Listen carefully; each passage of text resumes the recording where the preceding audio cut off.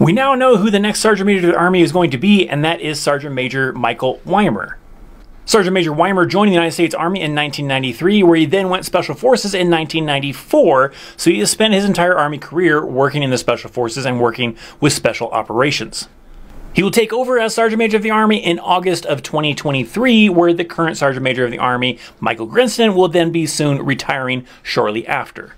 One of the key things people are going to want to know is what type of changes can we expect from the new Sergeant Major of the Army as the current one, Sergeant Major of the Army Michael Grinston, changed quite a few things, such as the Army Combat Fitness Test, a lot of changes to uniform policy, tattoo policy, a lot of things. So people are going to want to know what does this new Sergeant Major have on his agenda.